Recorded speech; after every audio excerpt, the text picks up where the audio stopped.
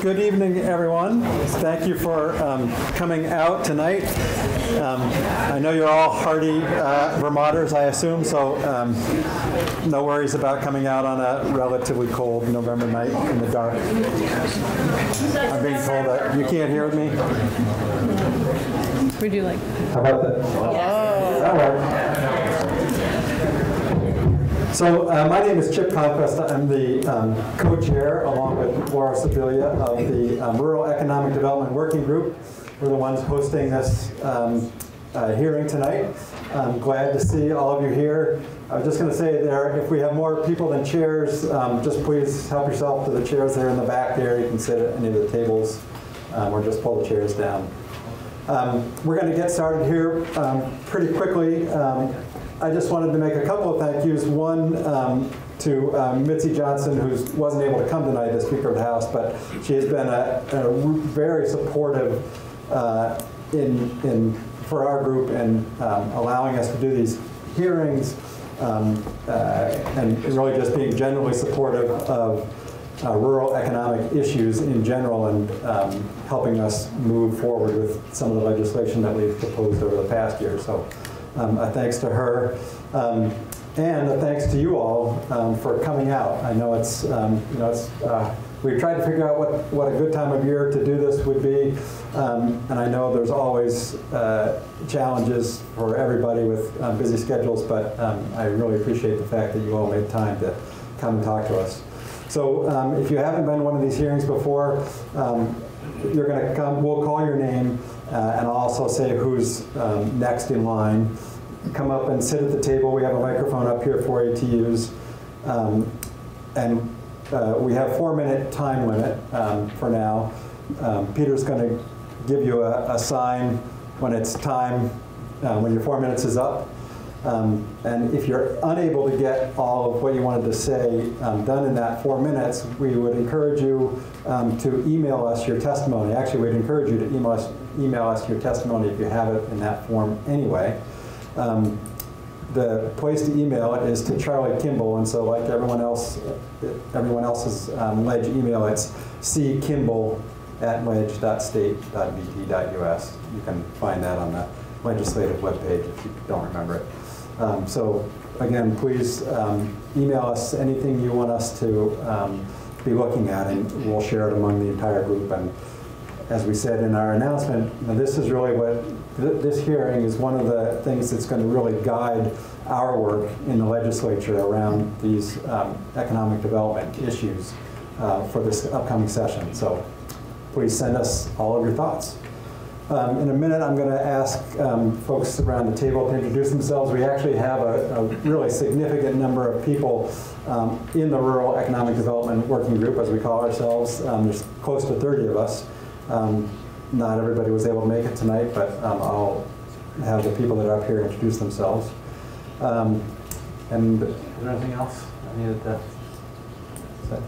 All right. so with that, I think we'll get started. So just just a reminder, when I call your name, please come up, use the microphone, um, and I'll also let, uh, let you know who's uh, following that person. So, want to introduce yourself, and we'll work our way around the table. Okay, uh, I'm Scott Campbell. I'm a representative from St. Johnsbury. Anything else to say? What committee you're on? Oh, and I'm on Energy and Technology Committee. Uh, Peter Conlon from Cornwall, and I'm on the House Education Committee. Hi, I'm Sara Coffey. I'm from Guilford, and I um, sit on House Corrections and Institutions. As I said, Chip Conquest, I'm actually from Wells River, Vermont, and represent Newbury, Groton, and Topsham, and I'm on the Appropriations Committee. Laura Sibilia from Dover, and I'm on the Energy and Technology Committee. Kelly Pajala from Londonderry. I represent Londonderry, Weston, Jamaica, Stratton, and Winhall, and I sit on the Human Services Committee. Uh, Randall Szott. I represent uh, Barnard, Pomfret, Quechee, and West Hartford. And I'm on the House General. I'm Lucy Rogers from Waterville. I also represent Cambridge, and I'm on House Healthcare. We have a, another member out here. And hi, I'm Emily Kornheiser. I'm from Brattleboro, and I'm on the Commerce and Economic Development Yeah. Um, And I think uh, Sandy Haas is somewhere, in oh, right there in front of me. Sandy Haas from Rochester, um, also representing Bethel, Stockbridge, and Pittsfield, and I serve on Human Services. I think that's the only member in the audience. And would the Lieutenant Governor like to introduce himself? I'm David Zuckerman, Lieutenant Governor, have a farm and am uh, passionate about our rural economy, so I was curious to hear your thoughts. And And thank you for Todd Golden hearing, and I think Representative from Sanders' office is also here. And ladies' office. And Leah's office? I'm Yeah, sorry. uh, yes, I think. Holly's here All right, so, um, yeah, so we have Alan Robertson up first and Kathleen Warner um, after them. Oh, sorry. Great. Dangerous, first person. My name is Al Robertson. I'm a woodland owner in Sheffield, Vermont. Um, I'm secretary of Vermont Woodlands Association and also somewhat responsible for helping with policy in VWA, uh, our organization. Uh, You should all have my uh, testimony already. It was emailed to Mr. Kimbell several days ago.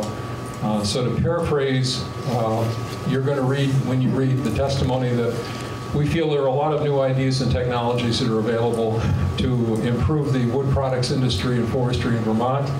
Um, We have reservations about whether any of that would ever happen um, because um, of Act 250.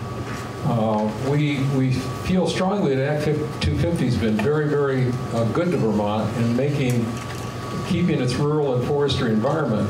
But unfortunately, the last few years, some of the very things that have been good for Act 250 and keeping development under control have also stymied development of the forest products industry. Um, One of the things you'll see in the package is a uh, a handout from the Eckley sawmill in Germany. It represents a very, very small micro plant that produces power and also uses waste heat to heat the local community. Um, That's typical of the kind of things that you'll see in our, our submission that included cross-laminated timber, um, biochar, uh, increase in use of biofuels, and combined heat and power facilities. But again, um, there have been numerous attempts to fix Act 250 over the past few years, Um, and yet it's never happened. There, there, are, and I say fix because we don't want to disturb what works. What we want to see is the same respect for the forest products industry as we see for agriculture. Um, Right now, if you, a farmer builds a barn, he doesn't have to go through Act 250. But if a sawmill needs to expand, or if a new sawmill wants to come into, into existence, uh, sometimes the hurdles are just so overwhelming that it just doesn't get done. Same thing with energy facilities. So there are, there are things that need to happen in Act 250 to make it better for the forest products industry. And we were hoping um, that that would be something that your, your uh, group would, would be looking at. Specifically, there are two bills right now in front of the legislature, uh, S-104 and H-197. You'll probably hear about those later tonight, uh, that do a lot to resolving the issues that we've identified in our testimony. And with that, I'm done. Thank you very much. So Kathleen Warner and Brian Sheldon. Hello. Um, Thank you for the opportunity to be here this evening. Um, I'm Kathleen Warner, Executive Director of Vermont Woodlands Association and Vermont Tree Farm. I am uh, also a member of the Working Lands Board as a woodland owner and tree farmer representing woodland owners.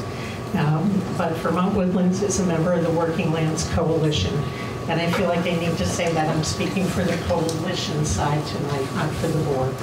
Um, And so um, I've been involved with the Working Lands Initiative since 2012, when it first came to the House Ag Committee, which is now the House Ag and Forestry Committee, um, after a wonderful change of focus that included forestry.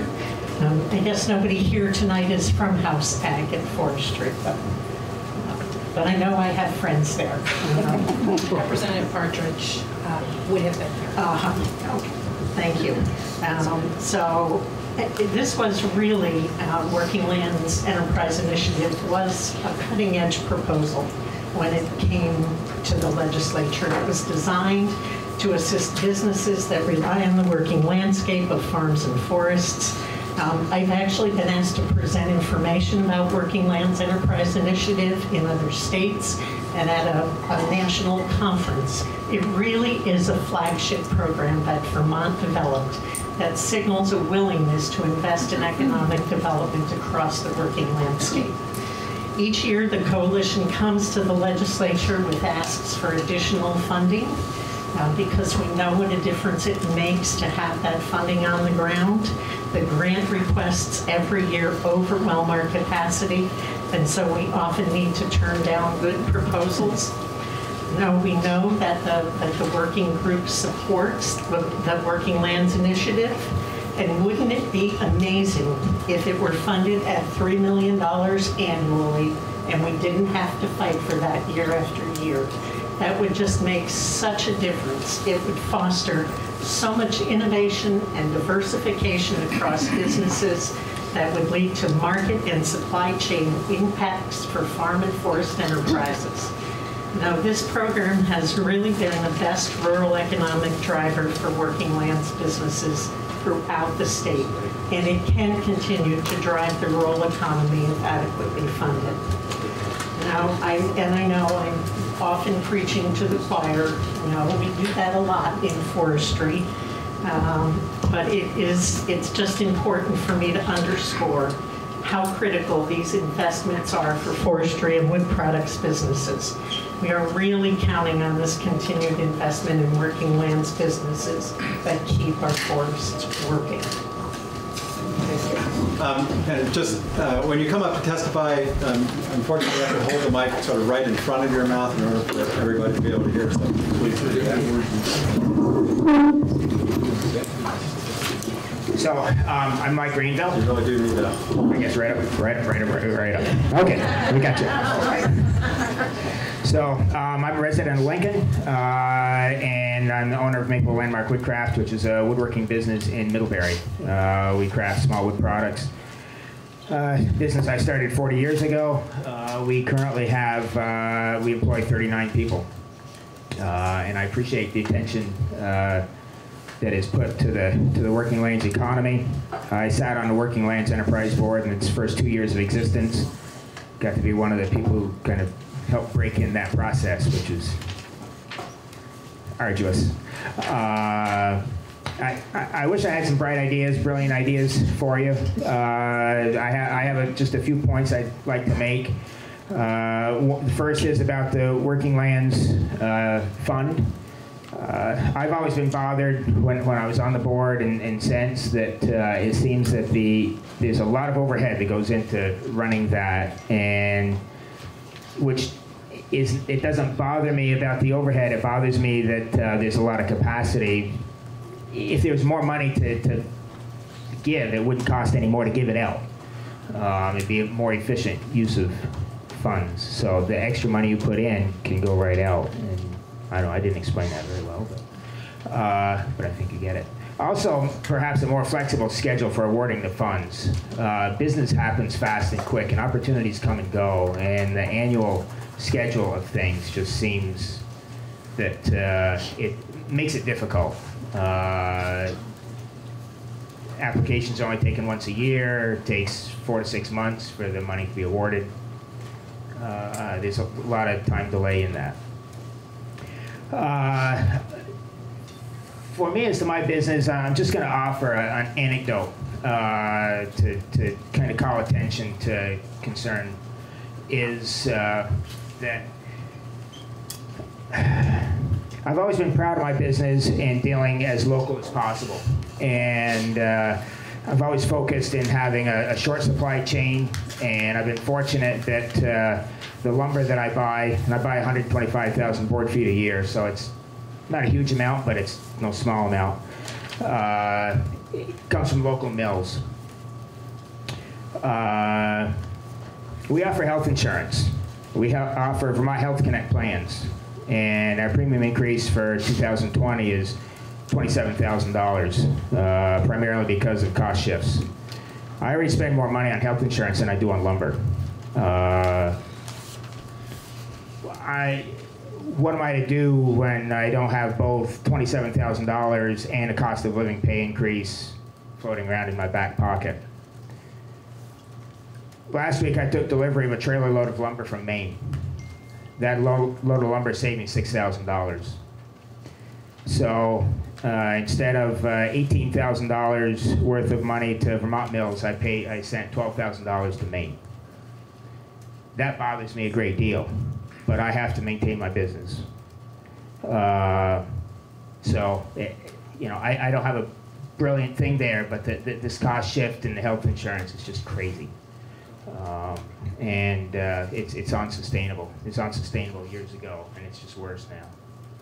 So um, that's, that's primarily what I have to say. Um, I would like to be sure that you spend time on good legislation, not soundbite legislation.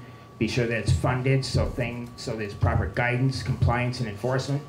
I'm involved in several uh, bits of legislation that don't have that, and it makes it real difficult to do business. So.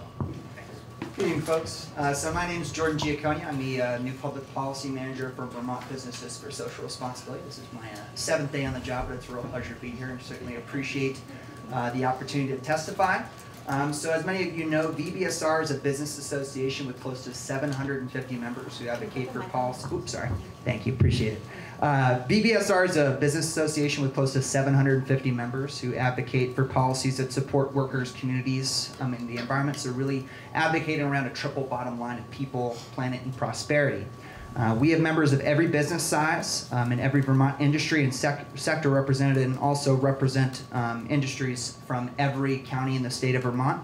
Um, as of 2019, more than half of our members represent small businesses employing fewer than 50 full-time employees, and about a third of our members represent uh, businesses retaining less than 20 full-time employees as well. Many of our rural businesses that VBSR represents are interested in climate action, uh, not just as a moral imper imperative, but also as an economic development opportunity. Investments in weatherization, efficiency in electric vehicle infrastructure, and divestment from import, imported fossil fuels would yield significant benefits for rural and low-income Vermonters as well as ratepayers writ large. Uh, from winter recreation and local food production to our drink-driven and tourism economies, uh, climate change represents a very significant threat to the Vermont brand, way of life, and rural economies. Um, so with that, I want to thank you all for the opportunity uh, to testify and for all the important work you're doing to support our rural economies. Um, and we'll encourage you moving forward um, to continue to engage in advancing uh, key legislation like, such as the Global Warming Solutions Act, um, but also uh, turning your attention as well to the, the uh, forthcoming Transportation Climate Initiative to ensure that these rural communities are represented fairly and that um, we don't leave folks in the lurch as we move forward um, toward a greener, uh, more climate-friendly future for the state of Vermont. Uh, so again, thank you all. I look forward to working with you and wish everyone a good night. So I just want to say, first of all, good evening, everyone. Um, hi, folks. It's great that we're all here. My name is Nick Richardson. I'm the president and CEO at the Vermont Land Trust. I've been in that role for about two years. Um, it's, it's a real pleasure to be here with the Rural Caucus this evening. Um, you are our people, and we are deeply connected to rural lands and working lands all across this state. We have relationships with 2,000 parcels and about 1,800 landowners who are farmers, foresters, um, working these lands, stewarding them on behalf of all of us. And so it's a real pleasure to be here with you this evening. Um, I do have a couple of points I want to emphasize in the legislative session to come, but um, because we hardly ever look back and say thank you for the work that's come before, I just want to commend the caucus on the work you did last year. Um, you know, particularly the uh, expansion of funding for the Working Lands Enterprise Board, um, Kathleen Warner spoke, I think, really eloquently to, to that. Um, it's an important pillar of how we support the working landscape and our rural communities in this state. And it, it is a very innovative program. And uh, along with a very strong uh, support for conservation, low-income housing, um, you know, and, and, other key programs that really invest in rural communities, it's a part of what makes Vermont work. And I think it's a really important program. Uh, the regulatory relief was also, I think, really critical, and um, you know, has been has been described around uh, supporting uh, common sense changes that will allow businesses to stay in business. Um, our working landscape really needs that right now. Uh, and I'll say that for the Vermont Land Trust, uh, which has conserved 11% of the land in Vermont, 2,000 parcels, almost 700,000 acres over the last 42 years, uh, we're recognizing, right, that as important as that is, we need to be doing more in order to make this working landscape work and our communities work. And so we're asking the question, what does Vermont need from us today? Um, and the answer to that is different than it was 30 years ago. And it's about getting the next generation of farmers onto land in Vermont. Um, we've done 100 farmland access projects over the last 10 years, working with, in fact, with many folks uh, in the room um, who are you know, great farmers who are connecting with their communities, investing in our rural economies. Uh, we want to expand that work going forward over the next 10 years to get 200 to 300 new and beginning farmers onto land in Vermont. Uh, you know, we're working with landowners to participate in forest carbon offset projects, and there's a there's been a great working group that's been working um, throughout the course of this last summer and fall to deliver some recommendations around that for policy changes and also just what are the things we can do as a state to promote uh, access to forest carbon and forest carbon offsets for more landowners. That's something that we would really support and appreciate uh, going forward. Uh, this state needs more from us than from all of us than it's ever than, it, than it's ever needed. Um, and these working landscapes that we participate in, um, that are such an important part of how we how we feel about this state, uh, the connections that we have here, the community that we have here, they're really under threat. Um, and I think it's important um, for all of us to be thinking outside of the box about what it is that we can be doing to support our rural landscapes. Um, the Vermont Land Trust is here. We're all in. Um, and we're going to be looking very creatively at new ways to participate. And we really appreciate the Rural Caucus, the work that you're doing, um, and, and want to be a partner with you. Thank you so much. Hi, um, I'm Amanda Carlson from I'm the town administrator for the town of Coventry. Um, so on behalf of the small municipal towns, um, I, I know there's a lot of effective tools that the uh, you've created for uh, local government to support the businesses. But that information doesn't always reach the small towns. These towns are dealing with one person and the select board member that's been there for 30 years, um, and they don't always um, share that information around. Uh, so to make sure that they, they understand what's available, I'd love to see um, state-supported or, or run uh, regional uh, workshops or, or meetings that would allow um, you know, some of that one-on-one -on -one interaction uh, for these towns to understand uh, to learn best practices for supporting local businesses and what they can do in their small communities. It's not always on a large scale. It's not always, you know, the big projects. Sometimes it's those those small ones that need the most help. Um, so for manufacturing, you know, are there case studies and, and you know, what funding is available and, and the permit process and where to start so that the municipality can um, assist uh, someone looking into that. And on um, outdoor recreation economy, um, understanding what uh, what's proven to work and uh, what are the pitfalls or what policies. We don't always need to recreate the wheel. It'd be nice to know kind of what is available. And also, uh, sometimes it's really hard to find out what funding's available because they're all available in different places. And you don't know, and you have to just keep searching and, and hope somebody tells you which website or, or what agency to look at. It'd be nice to know where you can go for what funding and what's available to the small towns out there. Thank you. Good evening. Um, I'm Jenna Koloski. I'm the Community and Policy Manager with the Vermont Council on Rural Development. Um, I'm also the President of the Vermont Community Development Association Board, um, and I live in Huntington. Uh, so thank you for providing this forum. Uh, we, VCRD is a facilitator of public process. We facilitate conversations at the community level, and then we kind of add up what we're hearing in, in communities across the state, and we also facilitate statewide discussions as well. Um, on the community and economic development side, um, through our community visit program, we've worked with about 70 different towns around the state on facilitated discussions to um, invite the whole town together, line up what's most important, set priorities, and then help to connect to resources. And we also provide coaching and leadership training in support of that work. And I, I thought, and just uh, where we've worked in recent years, we've been in um, Montgomery, the four-town region of Royalton, Sharon, Stratford, and Tunbridge, Greensboro, Poultney, Westford, and now we're working in Rockingham and Wheelock. Um, I thought it might be helpful just to share, you know, when we work to towns, we don't know what's best for them, but we listen and we learn, you know, what are the issues they're grappling with today. And I thought it would be helpful just to share a few things we're hearing in every town we're working with. Um, we have communities lining up task forces around broadband and cell connection. Every town we're working with these days are setting those up. Uh, traffic, uh, streetscape, walkability, and bikeability, as well as trails and outdoor recreation. Um, most towns are setting up around some kind of economic development committee or even looking for funding to build staffing into their town structure to support economic development and uh, small businesses.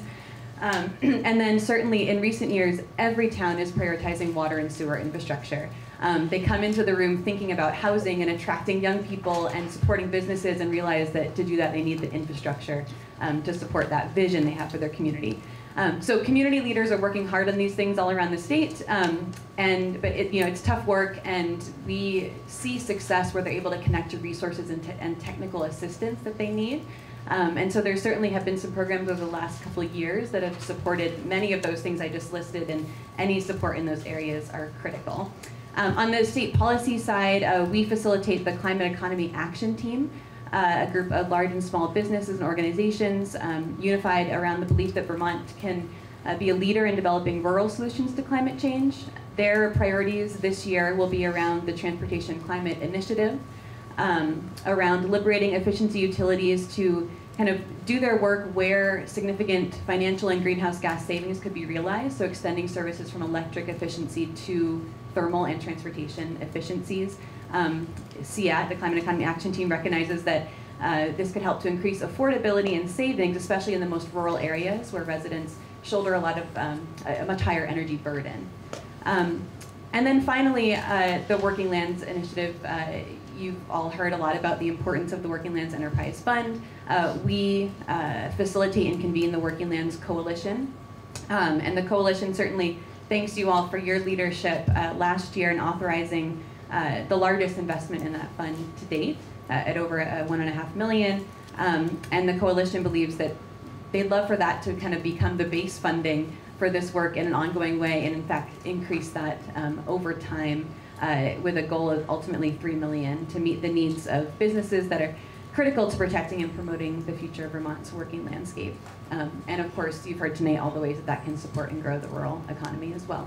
Um, so thanks so much for the time, appreciate it, and um, I will submit this um, in writing as well. Thank you. Thank you. Um, I'm going to interrupt for just one second here because the last two speakers reminded me of things that I was going to say when we started and forgot. I've been doing this for 11 years and I still uh, get tongue-tied in front of a crowd of people. Um, so uh, this earlier this year, um, our group took um, a bus tour of uh, southern Vermont in order to do the same kind of thing, uh, uh listening tour um, that uh, Sarah organized, and it was a great thing. It was the first time that we've done it, um, and one of the things that we came out of it with is wow, this is really great. We need to do this more. We need to keep doing, getting out to other parts of the state because I know not everybody can make it to Montpelier on the night when we have the hearing. So um, we probably won't do another one this year, but next year, you know, maybe we'll show up in your neck of the woods. Um, the other thing I wanted to say was um, VCRD um, that Jenna is, uh, works for um, has been very helpful in helping us get the announcement out, and I forgot to thank them for that um, when I started. So I really do want to extend our thanks to them. Hi, I'm Bruce Hennessey, uh, Maple Wind Farm in Huntington, Richmond, and Bolton, Vermont. Um, running that with my partner, Beth. Uh, we produce 100% grass-fed beef, pasture-raised pork, poultry, um, and eggs from poultry, of course, and uh, run a small USDA poultry processing plant that was funded in part by several uh, Working Lands Enterprise grants. Um, we feel like we're the poster children for uh, working lands.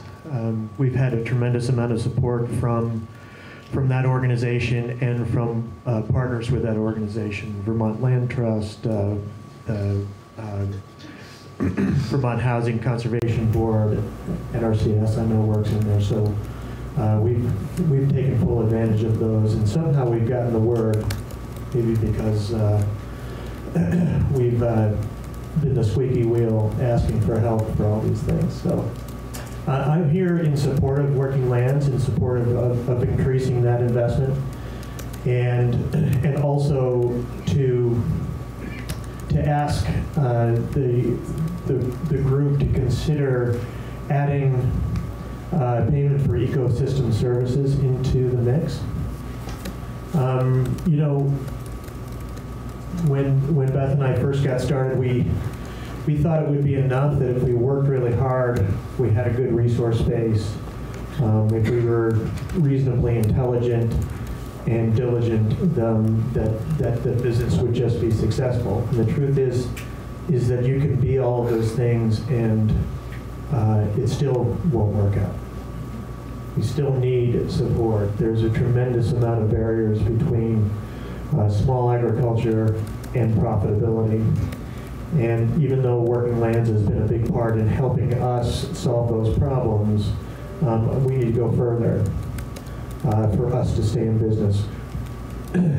I was uh, encouraged to hear that the gentleman in Wood, Wood Products was able to pay health insurance for his employees.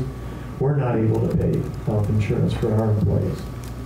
And um, that's a major problem for them, and it doesn't feel good for us either.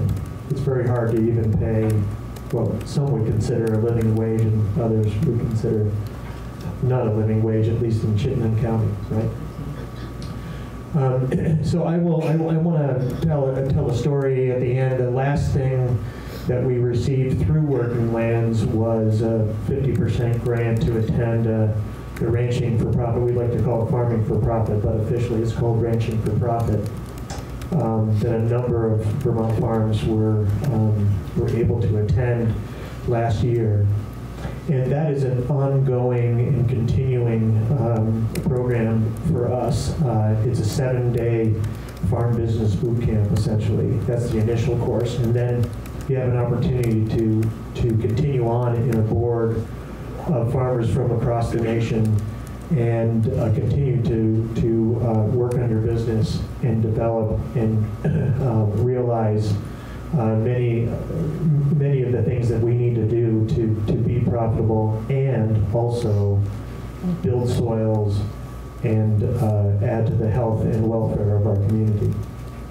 Um, and I just want to encourage a real focus on those really long-reaching and far-reaching programs for the Working Lands Group um, to help farmers really go beyond just that hard work and core intelligence to true financial literacy and the ability to, uh, to become viable farm operations. And uh, again, a deep thanks to all of you for, for that opportunity. Good evening. I'm Christine McGowan from the Vermont Sustainable Jobs Fund, and I coordinate the Vermont Forest Industry Network. The network was established in 2018 to help support and strengthen our state's forest and wood products sector, and now includes more than 150 people and organizations involved in Vermont's forest and wood products industry. I'd like to start by thanking you for your support of the Working Lands Enterprise Initiative. The Vermont Forest Industry Network's creation was a direct result of research commissioned by the Working Lands Enterprise Board's Forestry Committee back in 2015 and in the years since has increased awareness about the value of our forest and wood products industry to Vermont and has embarked on several projects to expand or create new products for forest products, new markets for forest, forest products and wood products. A few facts about our forests. Vermont is 76% forested, and 80% of those forests are privately held by small family woodlot owners. Historic land use patterns have left us with a considerable challenge. After depleting most of our forests for more than, more than 100 years ago, much of what has grown back has not been well tended, so in a typical Vermont timber harvest, as much as three quarters of what is removed is considered low grade, translate low value. Up until recently, that low-grade wood had a healthy regional market in pulp used to make paper, but for a variety of reasons, one of which is probably within arm's length of everyone in this room, we've seen a sharp decline in pulp mills in our region, and that's had a ripple effect on the entire supply chain. Two years ago, several Vermont loggers were stuck with wood they couldn't sell and expensive equipment they could no longer afford. Many of them parked their skidders and were forced to find other ways to make a living. Meanwhile, most of the sawmills that used to be economic drivers in so many of our rural towns have disappeared. Some couldn't compete with newer, bigger mills across the border in Canada. Others have struggled with the constraints placed on them by state regulations. Those that remain are faced with the reality that their owners are not getting any younger, but their younger successors are few and far between. So when a sawmill closes its doors, it's unlikely we will ever get that infrastructure back. Despite these challenges, Vermont's forest and wood products industry still represents a significant economic driver in our state, generating $1.4 billion in economic activity and providing 10,500 Vermont jobs. When you add forest-based recreation to the mix, you add another 10,000 jobs and 1.9 billion in economic activity. Take our wood heat sector. When Vermonters heat with wood, 78 cents of every dollar is retained in the local economy. Compare that to only 22 cents retained when we use fossil fuels like heating oil and propane. Some people worry that increasing the use of wood heat means we'll cut down too many trees, but the fact is we're harvesting less than half the net growth in our forests. The reality is Vermont is losing more than 2,000 acres of forest land per year to rural and suburban development, not forest products. Some worry that wood heat is bad for our climate. Yet a recent life cycle analysis of pellets made and used in the northern forest region shows that from day one, using wood pellets for heat reduces greenhouse gas emissions by 54% compared to oil and 59 and 59